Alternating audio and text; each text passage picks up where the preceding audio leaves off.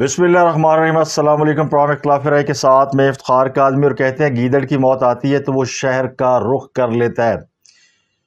اس طرح علی بن گنڈا پور صاحب اب افغانستان کا رخ کر رہے ہیں۔ کیا کرنے جا رہے ہیں؟ کیوں کرنے جا رہے ہیں؟ کیا انہوں نے بغاوت کر دی ہے؟ اس پر بات کریں گے۔ اس کے علاوہ عمران خان صاحب نے دعویٰ کیا کہ انہیں مورسی بنانے کی سازش کی جا رہی ہے۔ انہیں مصر کے صدر مورسی کی طرح انجام تک پہنچانے کی سازش کی جا رہی ہے۔ اس کے علاوہ عمران خان کے حوالے سے ایک بڑا ہی اہم دن ہے۔ تو خاصا مورسی بنتے ہیں یا نہیں بنتے، مگر ان کا ملٹری ٹرائل ہوگا یا نہیں، اس کا فیصلہ آج ہوگا۔ ایک بڑا اہم کیس ہے جو کہ اسلام رائی کورٹ نے کل ہی ٹیک اپ کیا اس کے علاوہ آٹھ یوٹیوبر گیارہ وی لاگرز اور ایک بریگیڈیئر پر مقدمہ ہو گیا ہے۔ عمران خان کی کوریج کا بائی کاٹ کرنے کا اعلان کیا ہے اور قاضی جا نہیں رہا، آ رہا ہے۔ اسپیکر نے قومی اسمبلی کا سیکورٹی سٹاف معطل کر دیا ہے۔ اسپیکر قومی اسمبلی نے تحریک انصاف کے گرفتار کان کے پروڈکشن آرڈر جاری کر دیا ہے۔ دو ایم این ایس کے حوالے سے بھی خبر ہے، ایک کو ملک واپس پر گرفتار کرنے سے روک دیا گیا ہے۔ ان کا نام ہے مبین عارف۔ اسلام آباد ہائی کورٹ حکم دیا ہے کہ کوئی سیکورٹی دارہ واپسی پر مبین عارف کو گرفتار نہ کرے، جبکہ دوسرے ایم این اے ان کا دعویٰ یہ ہے کہ ان کی اہلی اور بچوں کو اغوا کر لیا گیا ہے تاکہ ان کا ووٹ جو ہے وہ استعمال کیا جا سکے۔ تو اس طرح کی بڑی خبر ہے، چونکہ چوبیس گھنٹے گزر چکے ہیں، ایک وی لاگ مسنگ ہے۔ ناسازی تباہ کی بنیاد پر آپ سے التماس سے دعا ہے، لیکن چونکہ بہت عام خبریں ہیں اور آپ سے بات چیت اور کمیونیکیشن بڑی ضروری ہے، تو سب سے پہلے عمران خان کے ملٹری ٹرائل کے حوالے سے بات کرتے ہیں۔ عمران خان کو ممکنہ ملٹری حراست میں دینے سے روکنے کی پاکستان تحریک انصاف کے بانی عمران خان کی درخواست اسلام آباد کورٹ میں آج سماعت کے لیے مقرر کی گئی ہے۔ یہ درخواست جو ہے وہ اعتراضات کے ساتھ ہی ایکسیپٹ کر لی گئی ہے۔ درخواست میں استدا کی گئی ہے کہ عمران خان کو سویلین کورٹس کے دائرے اختیار میں رکھنے اور فوجی تحویل میں دینے سے روکنے کے احکامات دیے جائیں۔ جو اعتراضات عائد کیے تھے، اس میں یہ کہا گیا تھا کہ کسی مخصوص ایف آئی آر کا حوالہ دیے بغیر عمومی ریلیف کیسے مانگا جا سکتا ہے؟ درخواست کے ساتھ کوئی آرڈر یا دستاویزات نہیں لگائی گئی تھی۔ اور پنجاب کے مقدمات پر اسلام آباد کورٹ میں درخواست کیسے دائر ہو سکتی ہے؟ آخری اعتراض یہ تھا کہ ملٹری کورٹ کا معاملہ سپریم کورٹ میں زیر التوا ہونے سے ہائی کورٹ میں درخواست کیسے دائر کی جا سکتی ہے؟ تو اب اس کا فیصلہ آج ہونا ہے۔ یہ امپورٹنٹ ڈے ہے۔ اس کے علاوہ ان کی اڈیالہ جیل میں بھی نو مئی کے حوالے سے مقدمات کی سماعت ہے اور صحافیوں نے علی بن گنڈا پور کے معافی مانگنے تک اس کاروائی کا بائی کاٹ کرنے کا اعلان کیا ہے، لیکن تحریک انصاف کے جو وکلا اور میڈیا کے ہاکسز ہیں، وہ یہ کہتے ہیں کہ میڈیا کے بائی کاٹ سے کوئی فرق نہیں پڑتا۔ کیونکہ اسلام آباد ہائی کورٹ کے ایک فاضل جج صاحب نے عمران خان سے ملاقات کے لیے ایک لوکل کمیشن مقرر کیا ہے، جو ان کے وکلا کی ان سے ملاقات کو میک شور کرے گا اور ہر وکیل کے ساتھ دو سے تین معاون لے جانے کی اجازت ہے۔ تو نو وکلا کو ملاقات کی اجازت ہے۔ ان کے پاس خاص صاحب کے وکالت نامے ہیں اور ہر وکیل اپنے ساتھ اگر دو لوگ لے کے جاتا ہے، تو یہ چھتیس لوگ بن جاتے ہیں، تو چھتیس لوگ عمران سے ملاقات کر سکتے ہیں، تو پھر جو خبر عمران خان کے ذریعے باہر آنی ہے، اسے کون روک پائے گا؟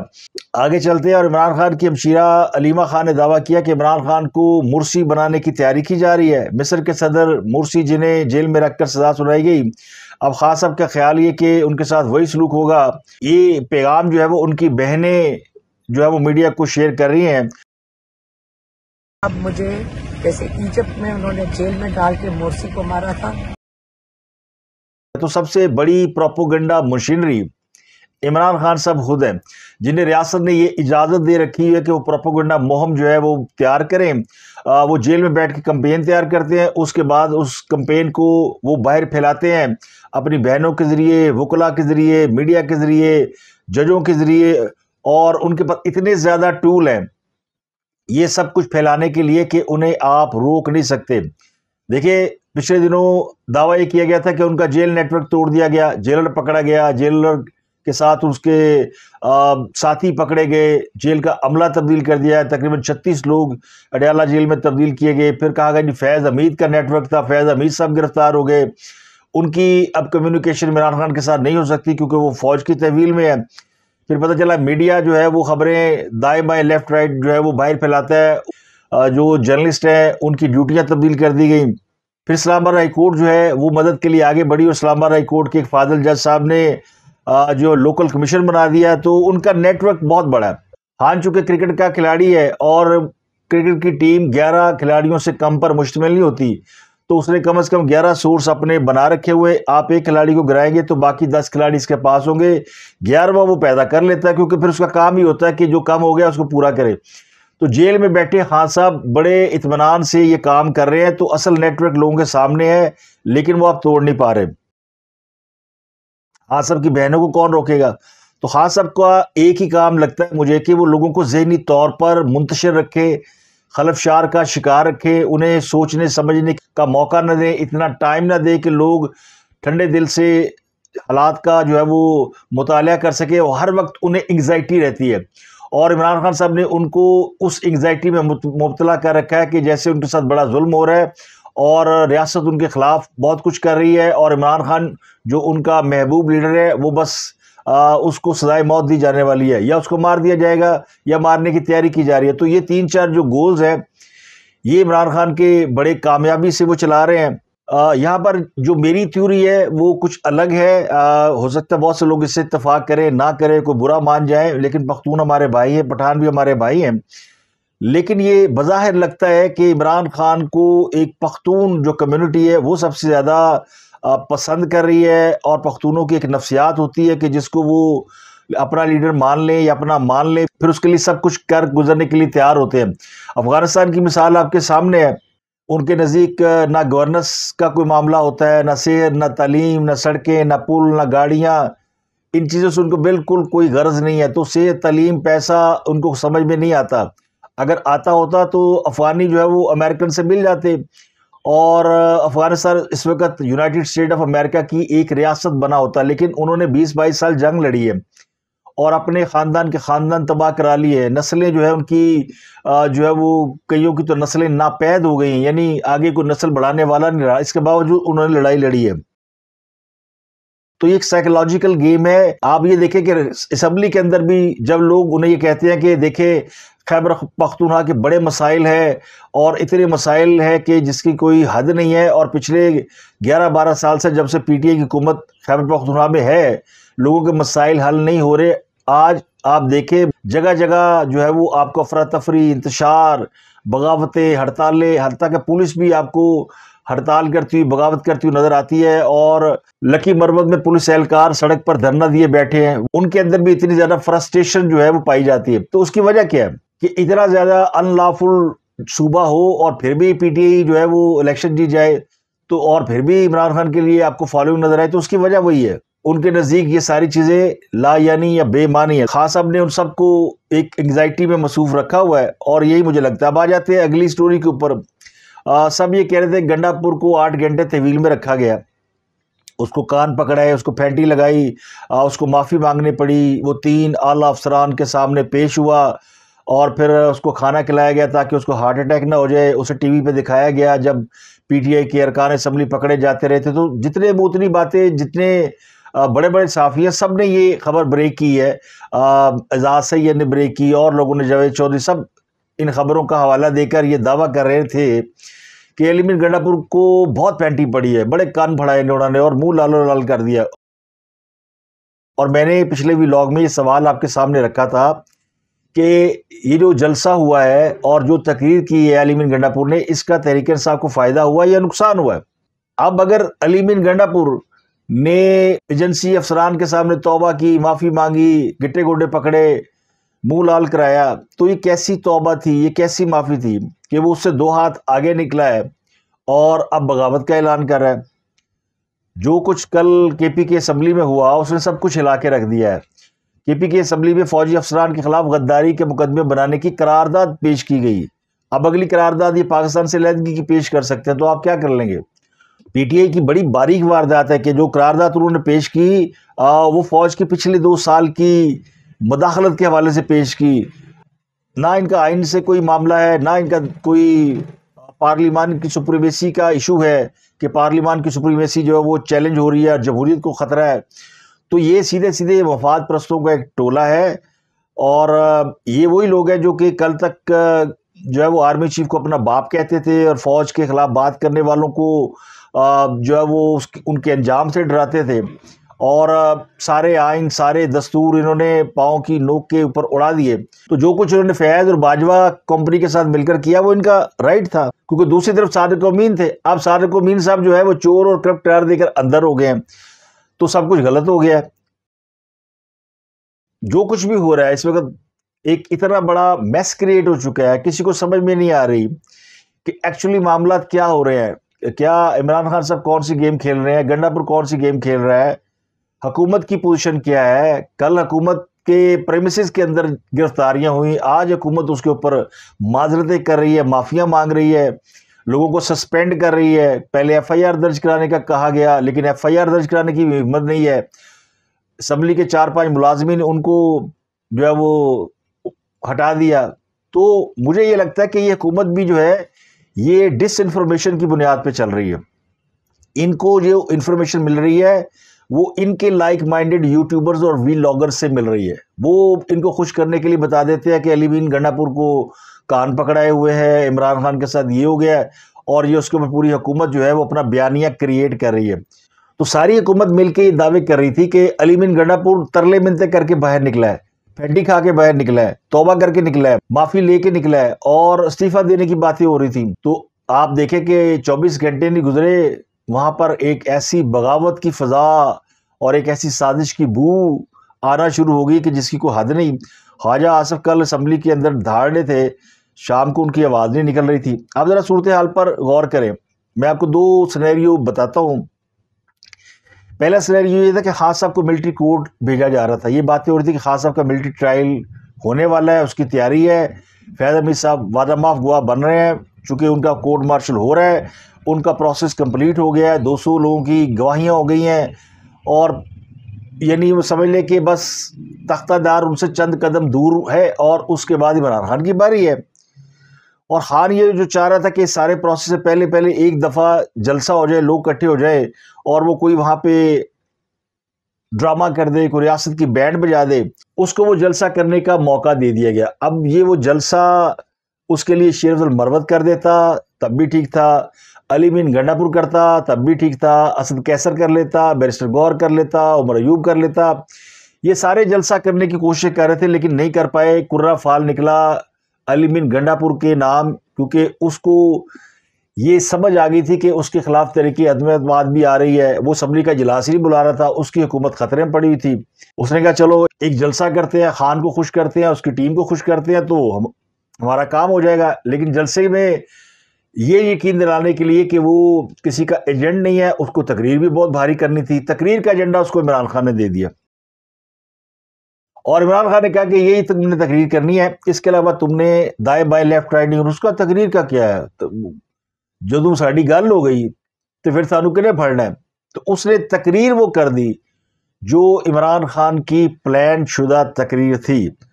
دکھتی رگ کو پکڑا عمران خان نے۔ اسے پتا تھا کون کون سے نروز ہیں۔ اس نے سیدھا مریم کو ہٹ کیا، فوج کو ہٹ کیا صافیوں کو ہٹ کیا۔ اس کا کام ہو گیا، حکومت بھی ہٹ ہو گئی۔ مریم نواز کی وجہ سے بھی ریاکشن آ گیا۔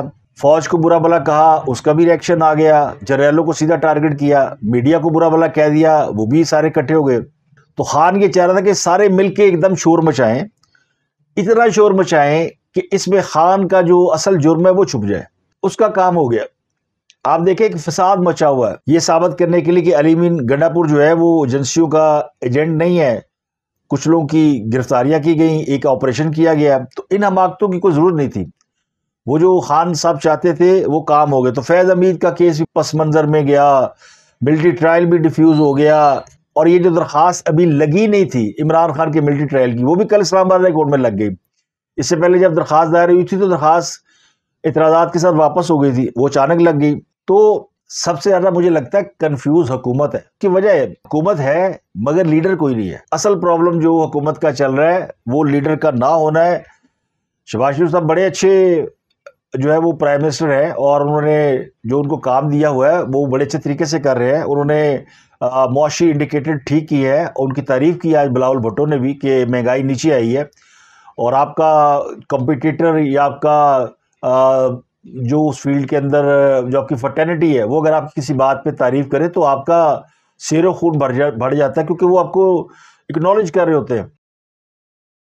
تو اس لیے شام کو پھر شہباز شریف صاحب نے ملاقات کی بلاول بھٹو سے اور گپے لگائی، ان کو بتایا کہ آپ کی مدد سے ہم نے یہ معاشی جو ہے وہ ٹارگٹ اچیو کیا ہے اور اب آگے بھی کرنے جا رہے ہیں۔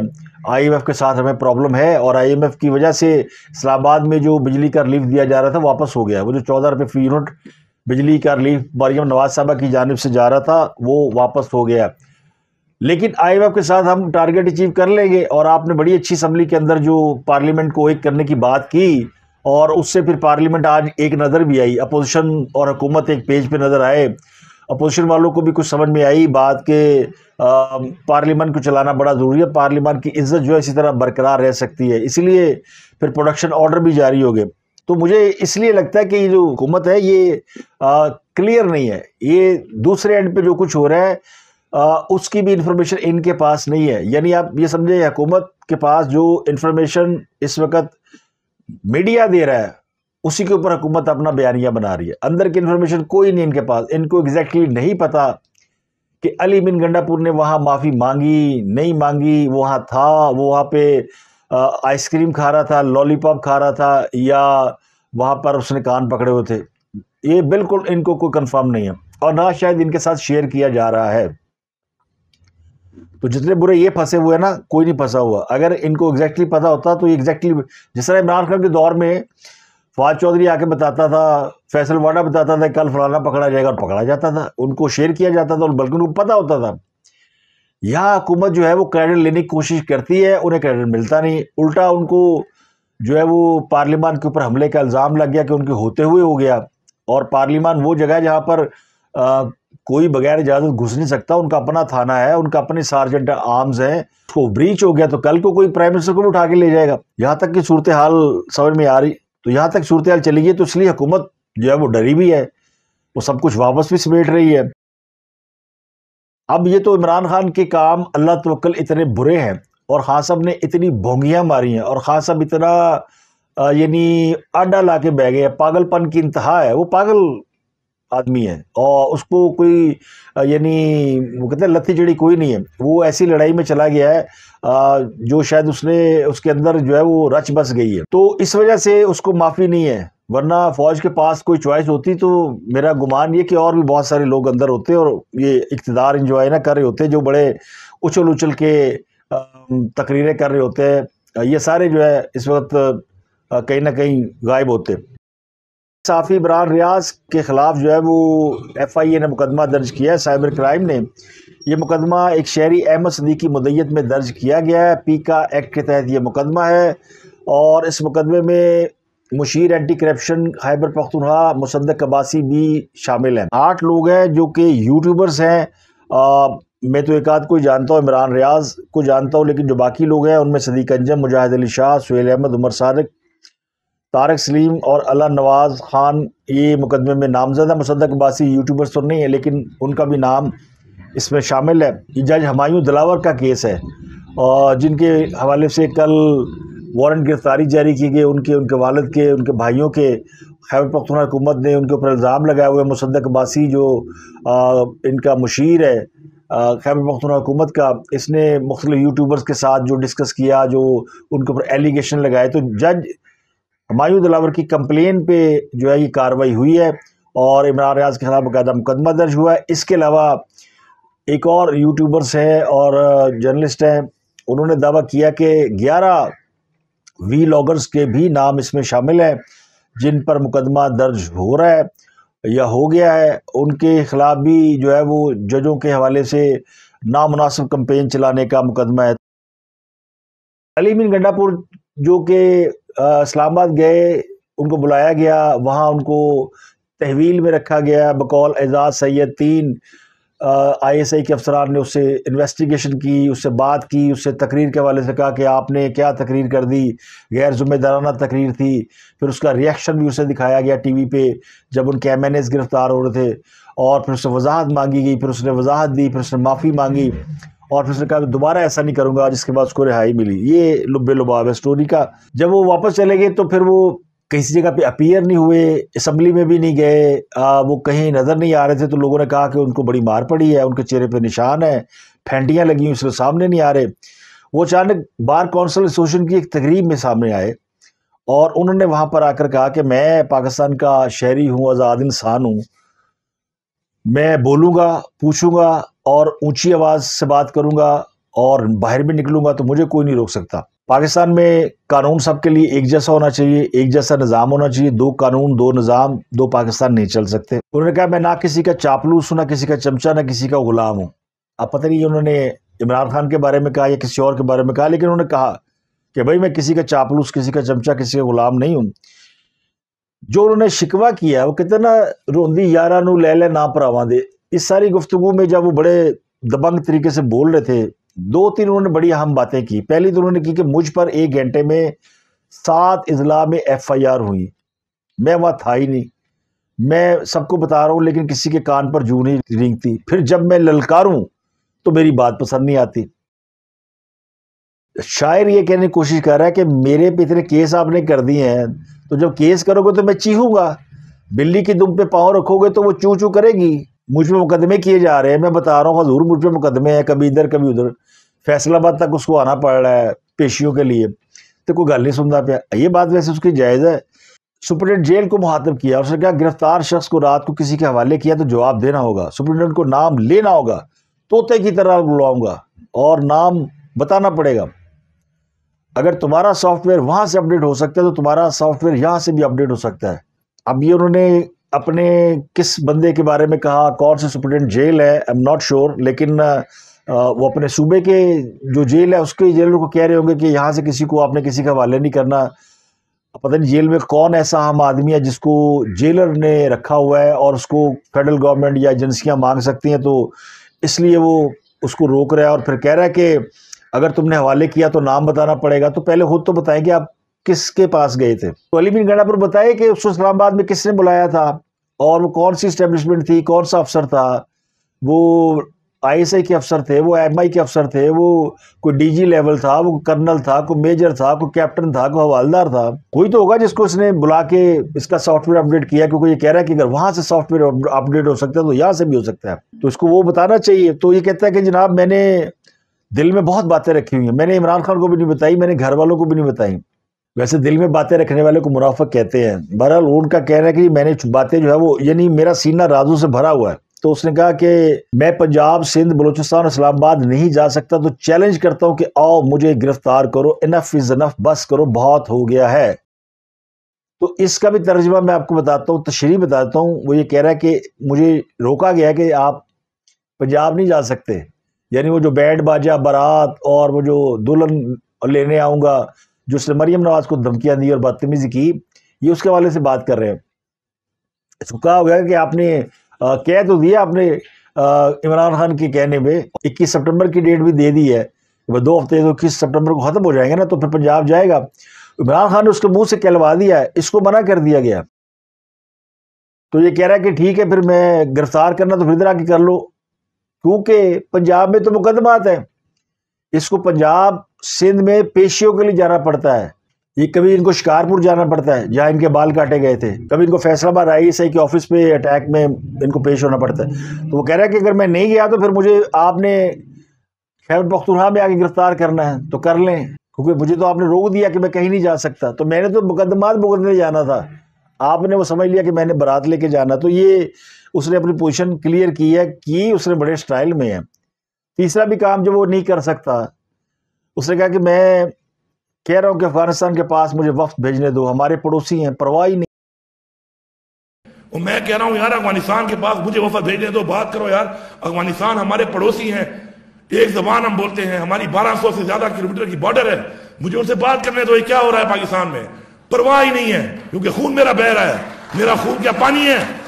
کیا میرے لوگوں کا خون سفید ہے؟ لال نہیں ہے کہ پرواہ ہی نہیں آتی آپ کو؟ میں کب تک برداشت کروں گا؟ اب میں اعلان کرتا ہوں یہاں پر. آپ کی اپنی پالیسی ہے تو اپنی پالیسی اپنے گھر میں رکھو. جس پالیسی کی وجہ سے تمہیں پرواہ نہیں اور میرے لوگ مر رہے ہیں، میں خود افغانستان سے بات کروں گا. میں بحثیت صبح بات کروں گا. میں بتا رہا ہوں کہ میں بحثیت صبح وفد بھیج کے ملاقات کروں گا، ان کے ساتھ بیٹھ کے بات کروں گا۔ ایک تو بھائی صاحب، آپ وزیر خارجہ نہیں ہیں. دوسرا، خارجہ پالیسی آپ کے پاس نہیں ہے، آپ کی جماعت کے پاس نہیں ہے. جب آپ کی جماعت حکومت میں تھی، اس وقت بھی آپ کے پاس نہیں تھی۔ اور پھر جس کو گھر کے لوگوں سے بات کرنے کی تمیز نہ ہو، اس کو کسی اور سے بات کرنے کے لیے کوئی نہیں بھیجتا۔ اور یہ یہ خارجہ پالیسی ہے، یہ پاکستان کی پالیسی ہے، فورن پالیسی۔ اس کے سٹیک ہولڈر جو ہے، وہی بات کر سکتے ہیں۔ آپ کی اتھارٹی نہیں ہے۔ یہ صرف وہاں کے لوگوں کو جو ہے، ان کے ساتھ پولیٹیکل گمکری کر رہا ہے۔ کیونکہ لوگ اس سے پوچھتے ہیں کہ خیبر پختونخوا میں خون کی ندیاں بہ رہی ہیں، تم کس بات کے وزیر اعلیٰ ہو؟ تو یہ اب یہ مدعا افغانستان پہ ڈال رہا ہے کہ یہ سب کچھ وہ کر رہے ہیں اور میں ان سے بات کرنے جا رہا ہوں۔ اب اس میں ایک تھیوری اور بھی ہے۔ لوگ کہہ رہے ہیں کہ یہ افغانستان بھاگنے کے چکر میں ہے، یا افغانستان سے مدد مانگنے کے چکر میں ہے۔ تو اس کو کوئی لاؤ کرے گا؟ کوئی بھی نہیں کرے گا۔ تو یہ سارے اس نے بلف مارے ہیں۔ Total one two three four bluff یعنی وہ کام جو یہ کر نہیں سکتا، یہ وہ کرنے کے دعوے کوئی کرے تو وہ بلف ہی ہوتا ہے۔ ایک سب سے بڑا بلف آپ جب رومینس کرتے ہو، مارتے ہیں کہ میں آسمان سے تارے توڑ کے لے آؤں گا، تو یہ کیا ہوتا ہے؟ یہ بلف ہوتا ہے۔ تو یہ جو سارے ڈرامے ہو رہے ہیں نا، اس نے میس کریٹ کیا ہوا ہے۔ پنجابی دی مثال ہے، بڑی پیڑی بھوکے نے بھوکے دی روٹی کھا لی، تو دو بھی بھوکے رہ گئے۔ تو یہاں علی بن گنڈا پور اور عمران خان نے ایک دوسرے کو کر لیا یوز۔ اب اس کے بعد اس کو کر رہے ہیں کور اپ اب اگلی خبر چیف جسٹس قاضی فائز عیسیٰ کے حوالے سے ہے۔ قاضی فائزہ صاحب کا جو سٹیٹمنٹ آیا تھا کہ وہ مزید چیف جسٹس نہیں رہنا چاہتے، ان کے حوالے سے وضاحت آ گئی ہے کہ ان کی گفتگو ذرا سجے کھبے کر کے پیش کی گئی ہے، جس کا ترجمہ یہ ہے کہ قاضی صاحب جو ہے وہ جا نہیں رہے، وہ آ رہے ہیں۔ یہ جو سارا جو فسانہ ہے، یہ سارا کڑمس مچا ہوا ہے، یہ سارا جو فساد برپا ہے، یہ ان کو چیف جسٹس کی ایکسٹینشن دینے کے لیے تو مچا ہوا ہے۔ ویسے حکومت نے نمبر گیم پورے کر لیے ہیں۔ اور دو تین رہتے ہیں، اور دو تین جو رہتے ہیں، وہ سارے ہی کہتے ہیں جی مینو کہہ رہے ہیں، مینو کہہ رہے ہیں، مینو کہہ رہے تو مجھے لگتا ہے دو تین سے زیادہ ہی ہو جائیں گے۔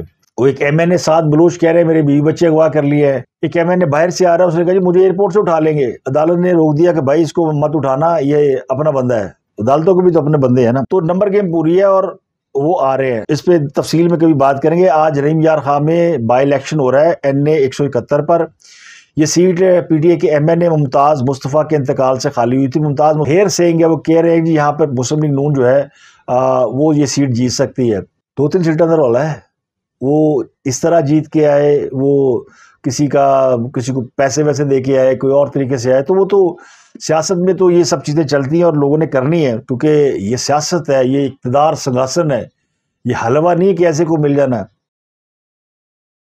تو اب تک کے لیے اتنا ہی۔ آپ سے ملاقات ہوتی ہے اگلے بھی لاگ میں۔ اپنا گردنوا کے لوگ بہت خیال رکھیے۔ گا